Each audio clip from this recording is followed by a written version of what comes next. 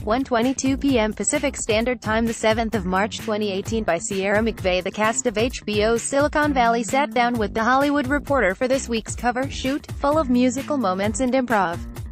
Thomas Middleditch, Zach Woods, Kumail Nanjiani and Martin Starr kept the laughs rolling throughout introductions and THR's How Well Do You Know Your Castmates game, after Middleditch and Nanjiani poked fun at Starr for getting an invitation to the premiere of Guardians of the Galaxy Volume 2, they tried their best to nail their opening for How Well Do You Know Your Castmates, which soon turned into a Dawson's Creek theme song sing-along for Woods and Middleditch.